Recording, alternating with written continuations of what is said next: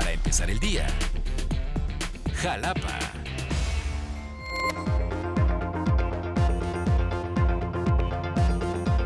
El titular de la Secretaría de Educación en Veracruz, Roberto Senyacen Escobar, afirmó que no se le renovará el contrato a Arali Rodríguez Vez, quien es también proveedora del gobierno del estado, a la que se le han otorgado contratos de diversas dependencias por más de 100 millones de pesos.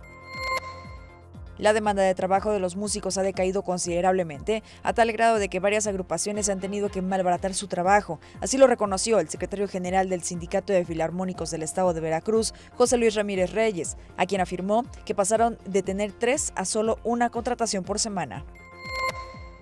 Familiares de la menor Fátima Cristal González se manifestaron en Plaza Lerdo para exigir a la Fiscalía General de Veracruz presente avances en la investigación, ya que la fiscal a cargo del caso se va de vacaciones sin proporcionarles información que pudiera ayudar a su localización hacen oficial la presentación del micrositio digital de acercamiento familiares de personas desaparecidas, creado por el Poder Judicial del Estado de Veracruz, con el objetivo de ayudar a las personas con trámites legales. La dirección electrónica es www.pgeveracruz.gov.mx diagonal acercamiento familiares diagonal.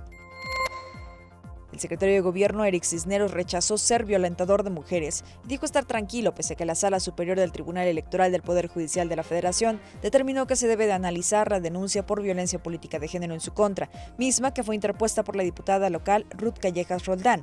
Al ser cuestionado sobre la resolución, dijo que al igual que a los afrodescendientes, lo quieren discriminar y detener de muchas maneras.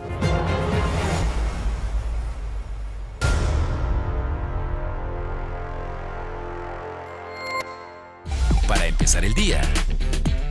Jalapa.